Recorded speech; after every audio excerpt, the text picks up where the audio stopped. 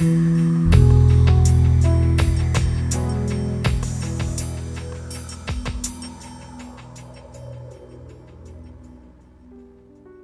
I'm Candace Vancko. I'm president of SUNY Delhi, and I want to thank you for this opportunity to speak with you.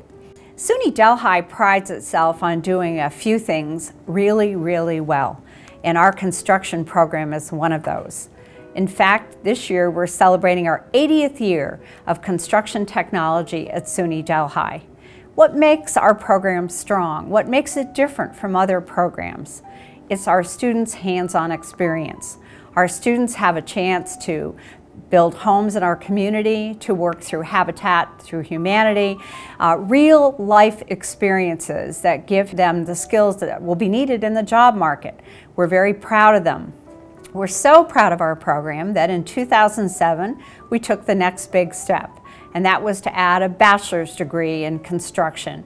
And those students have been wildly successful. I often meet with groups of students around graduation time, and the construction students really stand out in my mind because all of them have jobs at graduation time.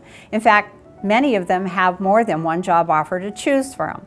One student told me the story of having completed an internship and the company where he was interning continued to pay him while he returned to school for his last semester. They were afraid that he might graduate and go on to some other job, so he decided to get paid and they kept his loyalty and hired him following graduation. Great story. I love it when I can brag about 100% graduation rates. SUNY Delhi is a leader in the construction education uh, industry. Thank you.